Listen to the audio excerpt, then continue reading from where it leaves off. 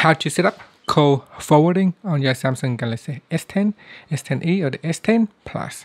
Now once you um, go into the voicemail, you can uh, use always forward, forward when busy, forward when unanswered, and forward when reachable. But to get to this section, first go back to your home screen by tapping on the home key, launch the phone app, and from here tap on this menu key at the top here and choose settings.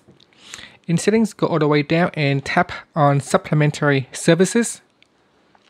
Then tap on call forwarding.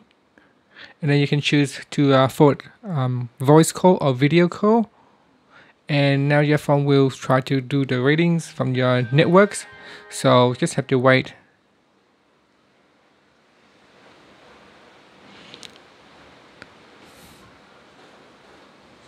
Now this can take some time for your phone to read some of the information from the network. Now you can see here it says always forward is disabled. So once your phone um, finish um, readings, then we can uh, continue. So once all the information has been loaded, you can tap on um, always forward or choose forward when busy, forward when unanswered, or forward when unreachable.